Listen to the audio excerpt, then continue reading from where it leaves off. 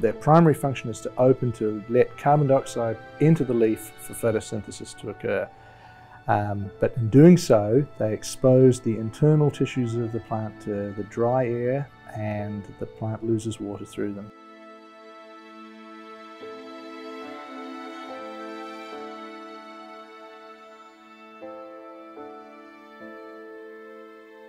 They are such simple structures and they're microscopic, but they really control so much about where a plant will live, how it will grow, how it competes with other plants, and how different groups of plants have become more successful through time or been able to dominate the vegetation.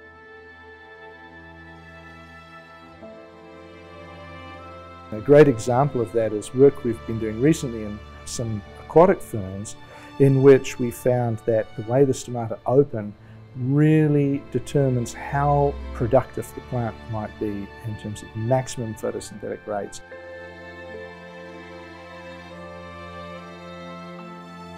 I'm super excited by them because they really are the most important cells of the plant and it's really great to be able to work with the stomata of